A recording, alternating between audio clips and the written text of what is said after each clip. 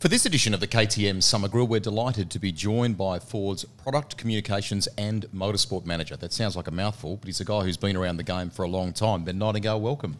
Thanks, Greg. Great to be here. How's the year been? Let's look back on 2023 before we, we dissect everything. Mm-hmm. On balance, it ended well with some, you know, a strong mm. showing at the Gold Coast and good form at, at Adelaide.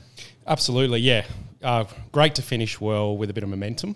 Um, on balance, and you look at the whole year, I'd call it character building um, for for us, for our teams, for our drivers in particular. But um, but yeah, look, the thing I'm probably most proud of is that we just kept working and we just kept churning and we kept pushing, and we got there in the end. So yeah, it was fantastic. Those those wins at the end of the season were the relief was palpable. It was incredible.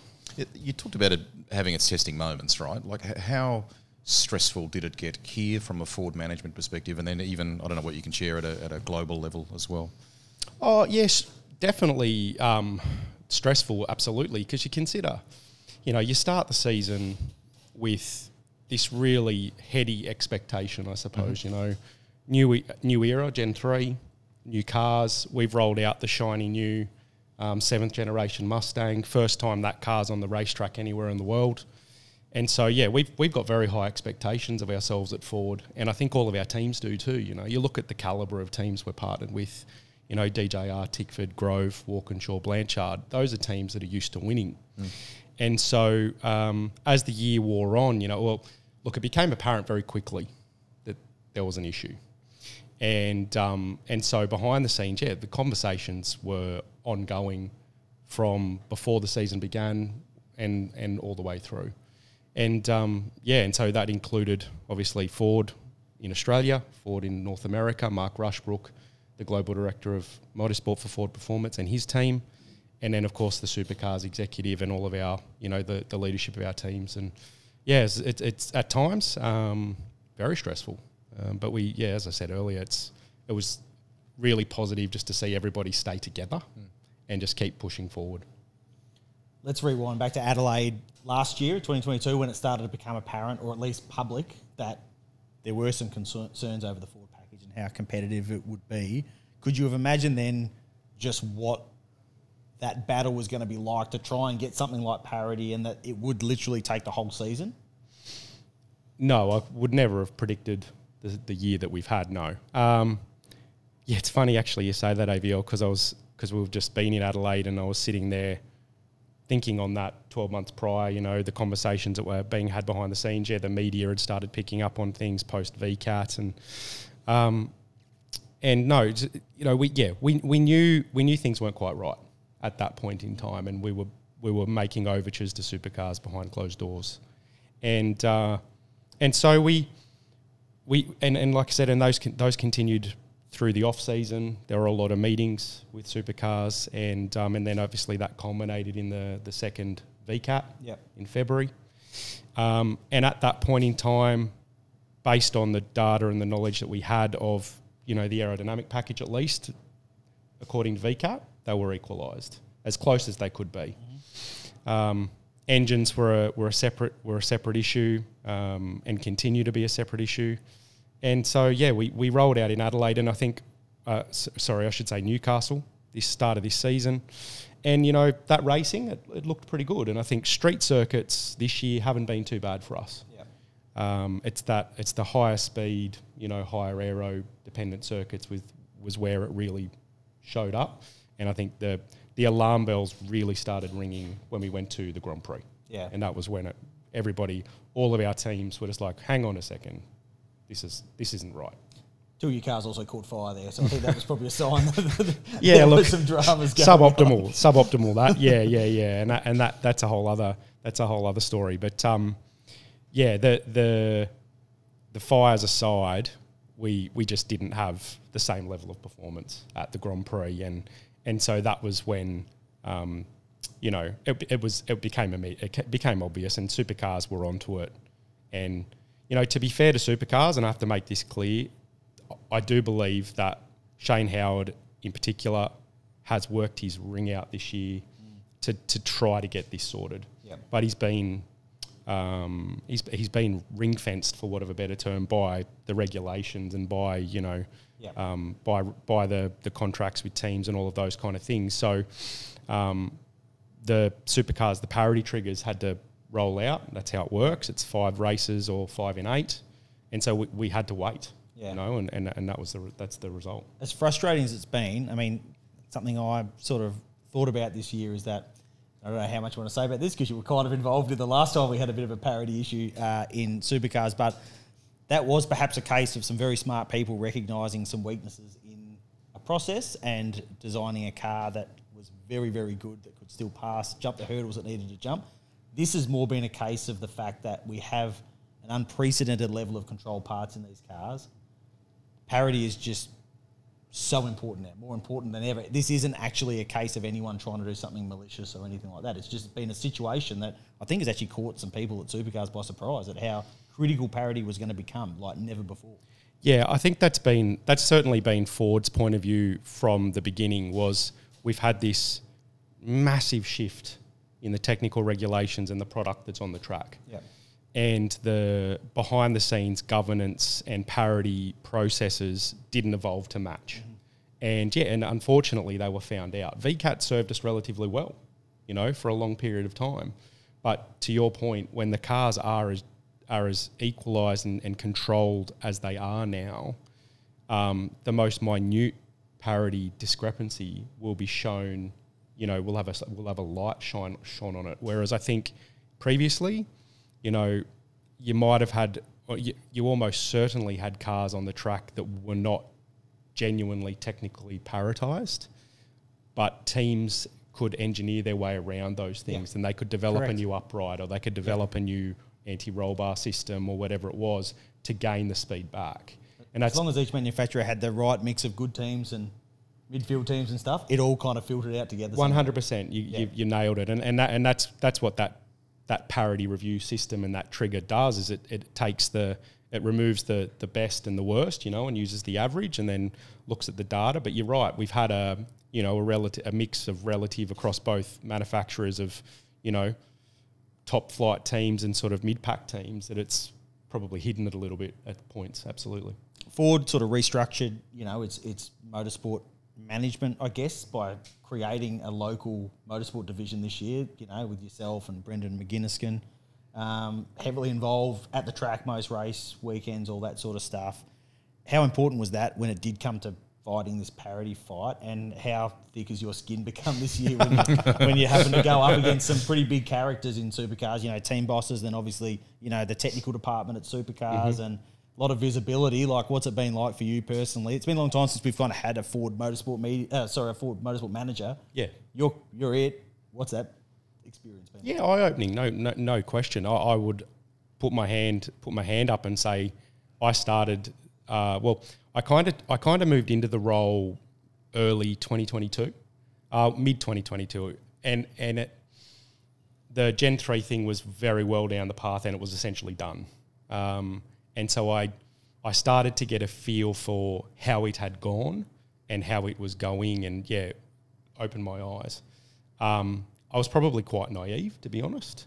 Um, yeah, most of the people I've been dealing with on the supercars side, I've known a long time, but not in a role like this, and certainly probably not as equals. Yeah. Um, so that's been interesting and challenging at points in time, um, where I've you know I've had to do I've had to do things or say things or write things uh, to protect Ford that I knew would cause certain people I like issues and dramas, but it had to be done.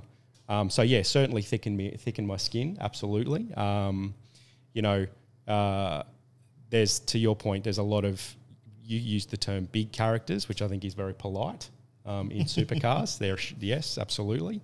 And so yeah, you know, I suppose in many ways I've learned who my friends are in supercars. Um, there's not many, which is, but that's okay. That's fine. Um, um, I've got enough friends. Um, but I've um, I've learned I've learned a lot too about the inner workings of our teams, and uh, and the the team owners and the team managers. You know, the team principals and the CEOs and the likes of David Noble at DJR. You know, a first year CEO talk about get thrown into the deep end. Yep. Um, and then getting to work really closely with Tim Edwards and Ryan Walkinshaw and the, and Stephen and Brenton Grove. Talk about impressive people. Yep. Um, you know, and then and of course Tim and John Blanchard too. They it's been fantastic to really get to know those people, to work closely with them. You know, and then and and and I'll, I'll also make a special mention of Brett Ralph, um, the owner of DJR, because again, first year owner, and um, he has just he and David Noble together have learned the sport. Um, s- they had to learn the sport ridiculously quickly, and have done a sensational job behind the scenes in terms of stakeholder management and and all of those things that needed to be done um, to to ultimately be successful. Were you surprised by the empathy you got from some of your rivals when it came to Bathurst with Barry Ryan talking about, you know, that he would be okay with that? And were you, how gutted were you that you couldn't get that completely across the line for the greatest race of the year? Best- Oh, that was race of the tough. Yeah, that that t- going back to your earlier question, um, Rusty, that was probably the, the the hardest week of the year, um, for a variety of reasons. And yeah, for it to, for the you know the intense amount of hard work that had been happening behind the scenes in the lead up to that week, um, for it to you know to fall at the the, the final hurdle, I suppose, was difficult to take, no question. Um, yeah, Barry and and and and, the, and Betty and the team at Erebus. To be fair, it didn't surprise me at all. Um, they're racers. Um, they are one of the one of the organisations in our sport that genuinely hold the best intentions for the sport, and they want the best for the sport, and they can put aside self interest in order to see the you know the the light at the end of the tunnel or the forest for the trees. You know, um, so yeah, we we've we've worked. We've been sort of having those kind of conversations with Barry and his team through the year, and it's been fantastic, really really great. And um, but uh, yeah, it's it's. But again, having said that, it's motorsport. People look to protect an advantage that they have. Um, so we we didn't have any, uh, you know, I suppose false, um, you know, false um, ideas about what might occur at Bathurst. Um, we we knew it was as soon as it became apparent that there was a requirement. Supercars were stating that there was a requirement the Chev teams were needed to approve the changes. We knew it was essentially dead in the water.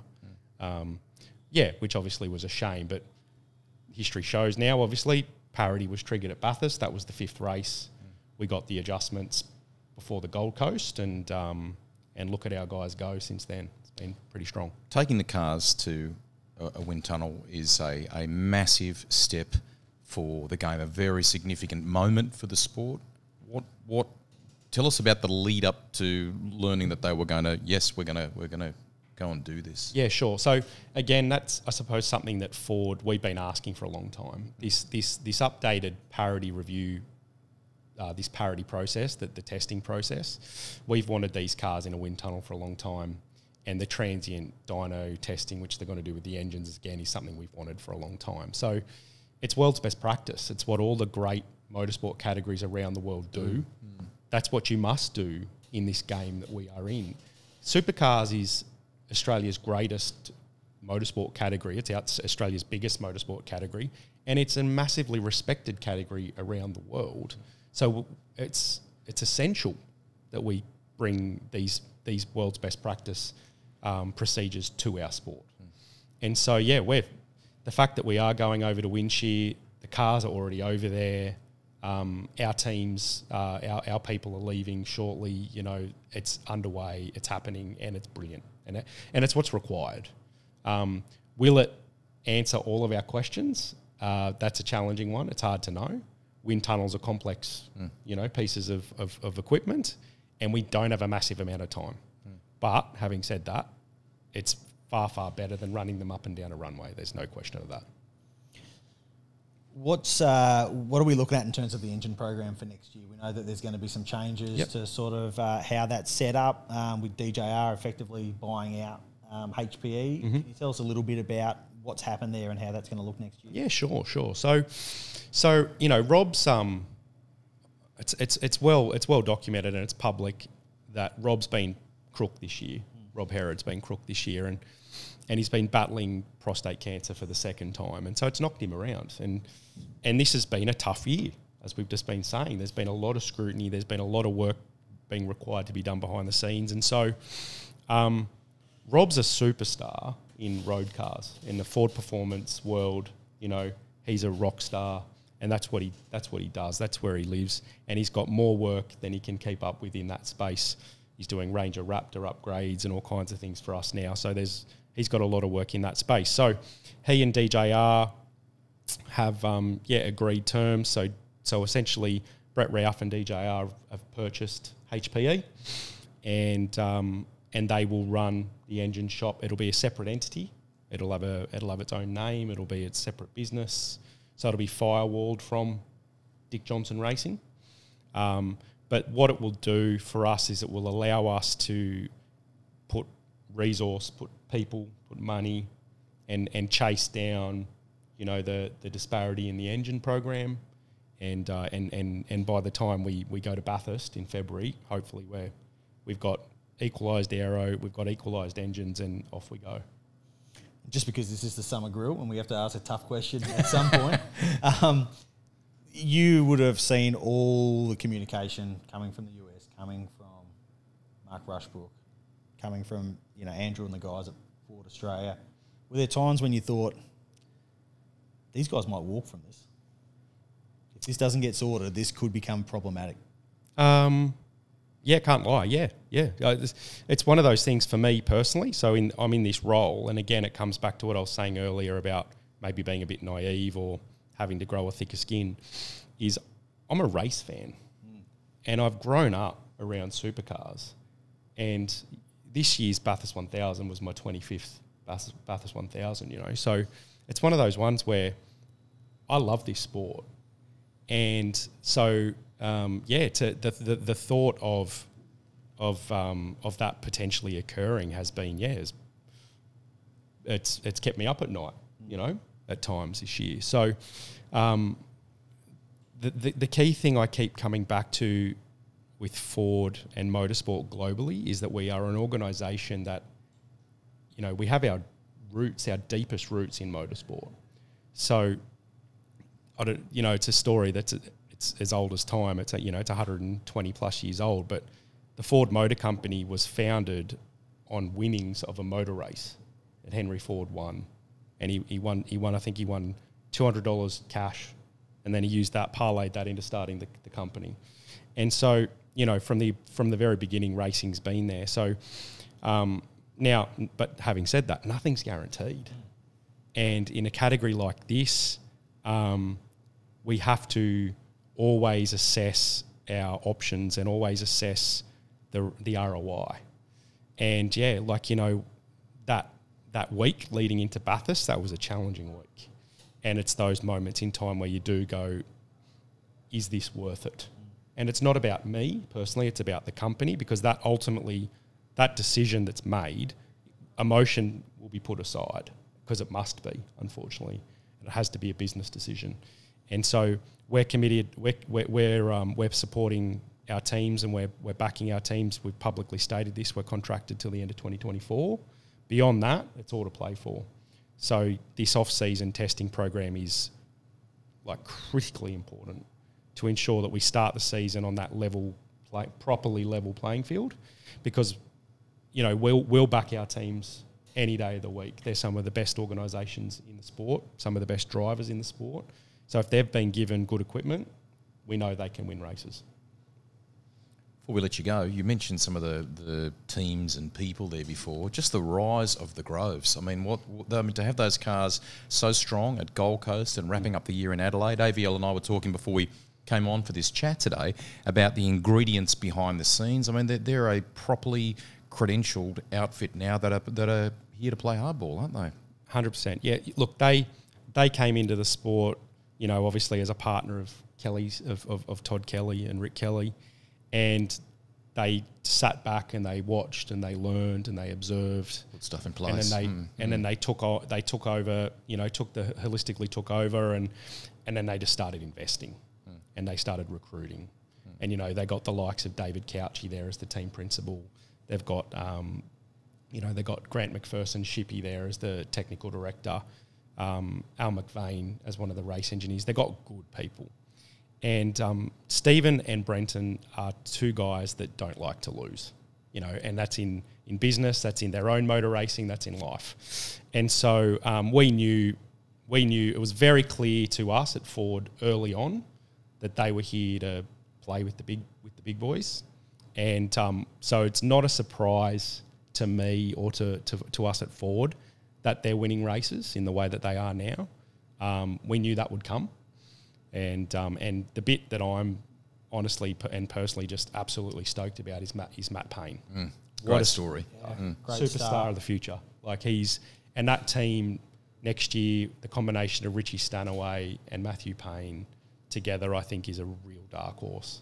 Um, so I'm excited. How Yeah. good's that for Ford for the Ford Motor Company in terms of like your New Zealand presence as well? Like having two Mm. Two guys that are that good. Two very different stories as well, Yeah, with yeah, so, totally. such positivity around them. you Yeah, know? totally. Yeah, you know, yeah, that you know Richie's story is well documented, but you know the Groves are 100% the right fit for him. They're going to they, they're going to invest in him, and what I mean by that is it's not it's not about it's not just about money. It's about it's about time. It's about respect. It's about understanding, and um, and then yeah, and and and they're getting their just and they're getting their rewards with with Matty Payne because they backed him early. Mm. They spotted the potential with him early, and they brought him in. And you know what? A lot of people would have said, "Oh, geez, bringing him into a main game seat now that's maybe a, a year early." Mm. He's won a race, mm. you know, and he's and he's done a great job otherwise. So, no, he and and he's. I call him Teflon coated. It's like pressure doesn't affect him. Him. It just it just runs. It's incredible. Like the way he drove it in that rate, that last race in Adelaide, that was just metronomic. It was incredible. It was Van Gisbergen Van Gisbergen esque. I think he's that's that's what I sort of get out of him. Yeah, Just while we're talking teams, I mean a two car Tickford outfit, Mm. streamlined. Tommy Randle's really coming on strong. We know Cam Waters is A grade all the way. That must be causing a bit of excitement at Ford HQ as well. 'cause Ag- I think they're going to be a real strong team next again, one hundred percent. You know, and, and and again to to to Rod Rod Nash and, and Tim's credit. Obviously, Tim's moving on now, but they recognised that if they want to be genuine, consistent championship contenders, four cars is too many cars. Had to do that. Yeah, Mm. and they had to make the cuts. It was a difficult thing to do, and so yeah, one hundred percent a two-car Tickford team with Cameron Waters and Thomas Randle side by side pushing each other next year, sensational for us. Um, to your point, Tommy Randle, we've always known it was there. We know the guy can drive, and he's just one of the best humans. You know, just Yeah, going going around, just Like, fantastic guy. for your brand. And we've used him on a couple of vehicle launches and things like that. He was at the Ranger Raptor launch with us last year. He's, he's a legend. And so, yeah, to see him, you know, living up to his potential and, and the expectations in the back half of this season's been, fant- been fantastic as well. And then, of course, Cam Waters. I've known Cam since he was, you know, 18 years old as a as a co-driver at a Jack Perkins at Charlie Schwerkolt Racing way back in the day. So to see his rise and, and his ability um, come to fruition as well, yeah, fantastic. I'm excited. And then, you know, you have to mention the other Walkinshaw, you know, unashamedly Walkinshaw HRT fan as a kid. Um, used to wear the, you know, used to have the Brocky Mobil One jacket and all that at Bathurst. And, and so if you'd told 15 year old Ben that he would have been one motorsport manager at Ford Australia, two um, Working with Ryan HRT, Walkinshaw, yeah. HRT was going to be a Ford team. It's like what? Um, so yeah, so so for that to have them to have come into our fold, obviously having Chaz, Chaz is just again sensational ambassador. Yeah. And then Ryan Wood there next year, again sensational combination. They'll Yeah. push each other. Um, yeah, we expect big things out of them. And then DJR, our homologation team, you know, the most storied team for us in supercars. We've got a, it's a, it's a near 50 year relationship with that team. Um, by their own admission, not a good enough year. Uh, and, um, but again, Brett Ralph, David Noble, uh, Benny Croke, and the team there, they are doing everything that they need to do to make it right next year and to get it right. We've got Nobes coming up on here, so we'll be Oh, grill- we'll be great. grilling him about Fantastic. that, don't awesome. worry, yeah, we'll good. into it. yeah. But, and I suppose, and I, I, I'd quickly like to recognise DJR actually because, you know, whilst unfortunately they might not have reaped the benefits of their work on the track, the other Ford teams have. Yeah. You know, so and that needs to be made clear. DJR did that work, did that aero work in conjunction with Ford Performance in the US, and Grove and Tickford have made hay. You know, so that's that's an important part of the process too. Thank you for coming in to Speedcafe headquarters today. I know the Ford fans watching the KTM Summer Grill will really appreciate the insights. The year finished strongly for you. There's some good stuff in the pipeline. We hope 2024 brings you much success. Thanks, Rusty. Cheers, mate. There he is, Ben Nightingale. That wraps up this edition of the Summer Grill. Check back in tomorrow morning to see who our next special guest is. You could be a winner each episode of the Summer Grill. KTM are giving you the chance to win a bar stool, a mug, and this race inspired clock as well. So there's more good reasons to tune in and hear from some of the stars of world motorsport here as a part of the KTM Summer Grill. All you got to do is click on the link below, fill in your details, and you could be in the running to win.